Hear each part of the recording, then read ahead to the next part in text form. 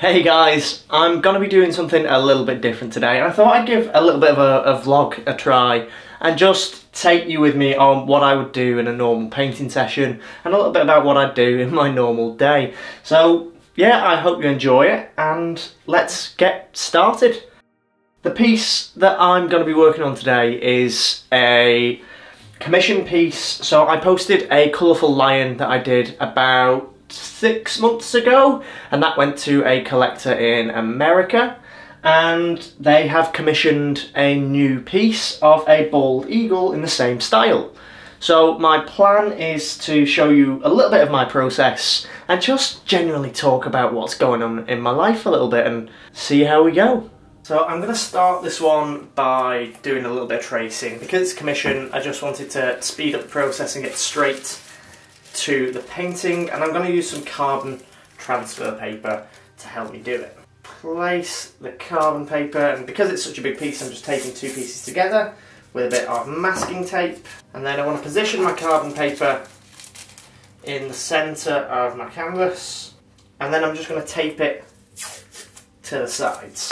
This is a 22 inch by 18 inch canvas and this is the piece that I'm going to be doing today. Perfect. Then I'm going to get a pencil. Some people ask if tracing's cheating, and I know my dad always says when I trade something, he goes, you're cheating again. But I don't think it is. I think if you've got the tools, use them. I could spend hours getting this proportionally correct. I know I can do it. In fact, it probably wouldn't even take hours, but I know that this is going to be a lot quicker and a lot easier, and I can actually get into the fun bit, which is the painting and the rendering, which is, I suppose, the difficult bit of the painting process. And I can do it a lot faster this way. So if you want to trace, trace. Obviously, if you're trying to get better at drawing, then don't trace because you want to practice more of your drawing ability. But if you're just trying to paint and create something and just get that creative like juices flowing, then just trace and get into the good stuff quicker. I'm going to take this off now and see what we're left with very carefully because I can reuse all of the paper again. Right, so I've got my palette at my side of me and I'm just going to start by using a bit of a Prussian blue and I'm just going to start painting in some of those darker areas. I'm using a combination of a reference photo that's quite real and then actually an AI generated image that I wanted just to give me an idea of the colours and I'm going to use a combination of both of them to create something better and different to both of them. So it's almost like a combination of the two. Like I'm, I'm not massively into AI art in terms of creating art and selling it because I do think it does actually really draw on other people's work. Um, I'm not going to go into it massively because I don't actually know that much about it, but I am just drawing on inspiration from the AI artwork. I'm not copying it directly, I'm just using it for inspiration on colour schemes really. Inspiration on colour schemes and just some patterns and techniques really where I'm drawing most of my sort of knowledge from and my idea of the drawing and painting is from the reference photo, which I got from Pixabay, if you're wondering.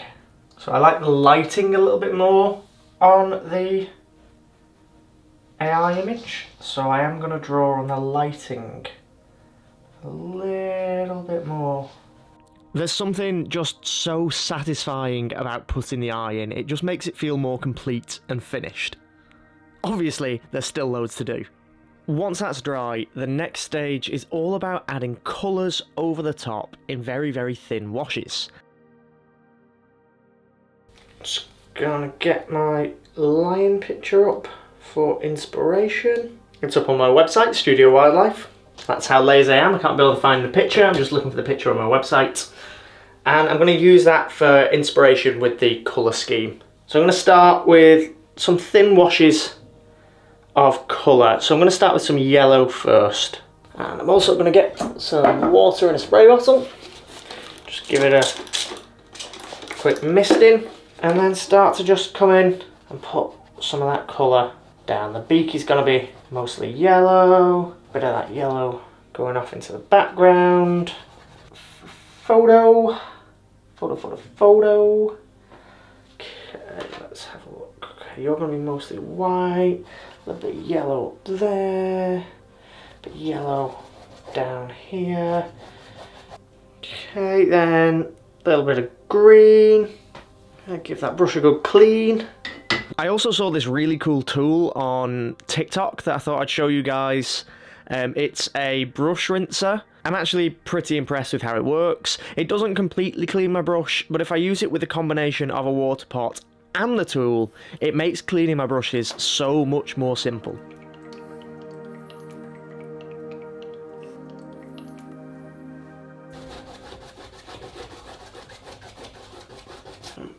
A little bit more of this purple in the background.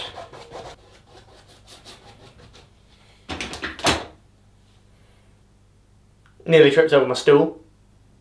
Okay, then I want a little bit of my darker blue. To go a lot darker. It's going to be quite hard to do actually while it's still so wet. I'm just going to dry it off using a hairdryer. The next part of the process involves putting down some more solid looking saturated colours over the eagle, give it a bit of structure, give it a bit of form, just following the colours that I'd put down for the background wash. And of course this first layer wouldn't be complete without using a toothbrush, an old one, not your current toothbrush, to add some splashes and splodges all over the eagle and the background. My palette's covered in paint and I've got to wait for this layer to dry so I think that's as good a point as any to call it done for today. I'm going to tidy up all this paint and then I'm going to do the other thing that I usually do with my day. And that is take this one out. Charlie, do you want to go for walkies? Do you want to go for walkies? Do you want to go for walkies? Let's go, let's go, let's go. Let's go, let's go, let's go.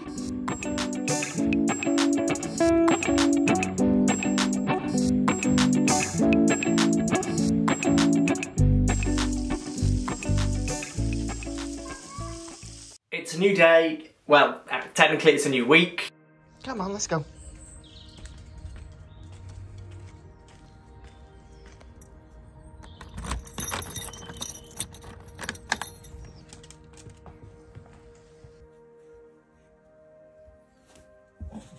I didn't really get much painting done over the weekend.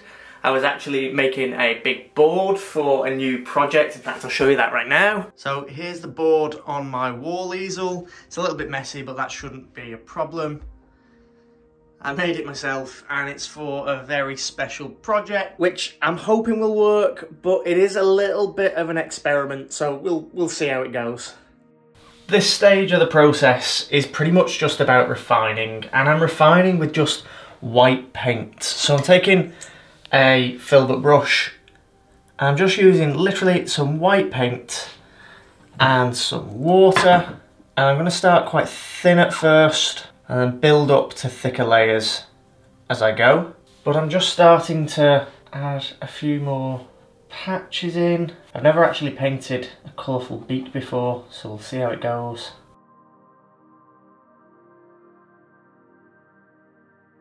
I'm hoping that some of these like transparent washes and some of the colours that I've put under underneath will actually start to show through. And then I'm also going to do a little bit of an extra step at the end, which will hopefully bring all the colours back nicely.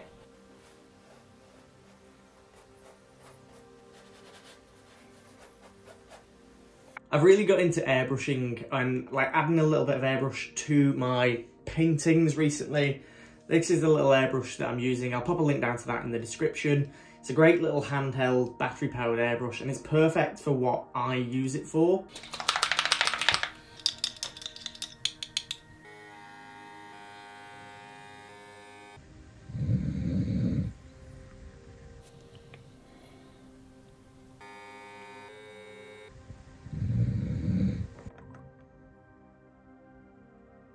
I've just finished the airbrushing step, so you might just be able to see it there. It's looking a little bit more solid and a little bit more colourful now. and I'm really liking how it's looking so far. The next step is just going to be to start adding some like whites and some details on there and then it's just play around with the background and make it all look like one coherent, cohesive piece.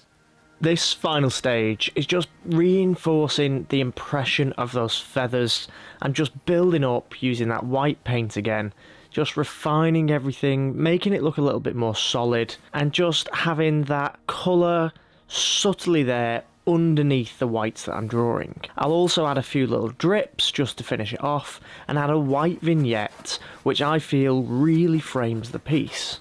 Then it's just a case of separating the eagle from the background with a little bit of a white backlighting, and then I'm pretty much ready to call it done.